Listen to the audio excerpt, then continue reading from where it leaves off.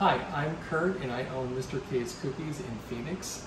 We operate out of a community kitchen in Mesa and that is owned and operated by local First Arizona, which is a non-profit small business support network.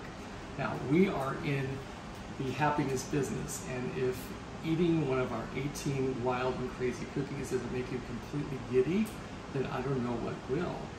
Now we need to be in the Phoenix Sky Harbor terminal because our cookies are like none other on the planet. For instance, we make this interesting cookie called coconut guava. It uses guava from the Caribbean, coconut, pineapple that we dry ourselves. Here's another one, which is Earl Grey tea, chocolate chip, chili mango. Chilies are brought in from New Mexico molasses, chocolate earthquake, which is a brownie.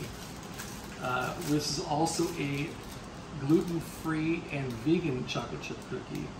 Uh, we have a brand new one, which is a peanut butter and banana vegan cookie.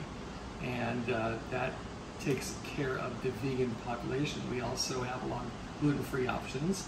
And that's why we, we need to be in a large um, environment like, like the airport to supply the sweet needs of all the incoming and outgoing travelers into Phoenix.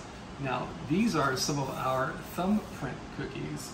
Uh, I make the raspberry jam cookie. This is a brand new Hooray for Hatch cookie, which is made from Hatch chilies, sold here in Arizona, pecans, and my, my favorite is this pomegranate jelly cookie.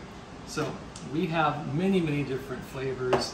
We package them in polypropylene bags like this, and we also use clamshells.